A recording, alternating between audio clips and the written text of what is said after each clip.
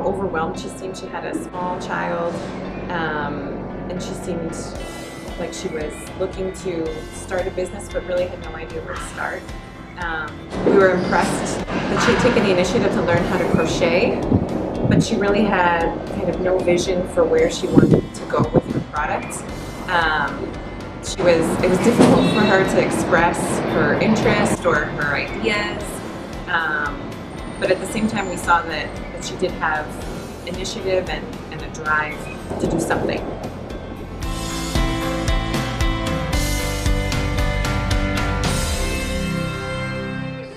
She seemed like a woman under stress, caring for the children, and with a lot of problems that I perhaps did not even know about.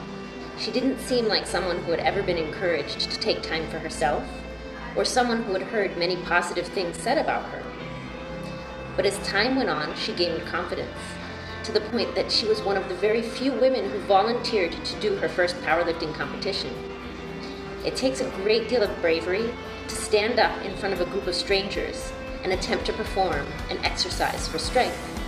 But Rosario did it with joy and enthusiasm in front of her children. And that day, watching her interact with her kids brought me great joy and inspiration.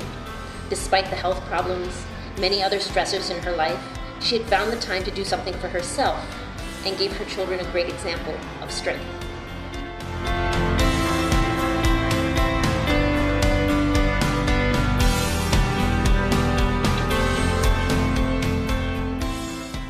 La dificultad que he tenido es que Rosario le cuesta creer en lo que ella, el potencial que ella tiene. En estos meses que hemos trabajado con Rosario, se ha convertido en una persona que cree más en lo que ella puede dar y no tiene tanto miedo de experimentar cosas nuevas.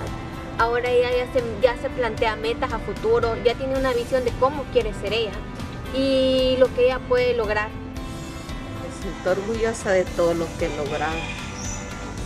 Yo venía bien así, decía, decía, a ver qué, qué locura me voy a poner a hacer y, no la puedo hacer, decía yo. Pero decía yo "Ah, en mi mente, "Ah, pero yo soy capaz de hacer lo que ella me dice. No sé cómo lo voy a hacer, pero lo voy a lograr.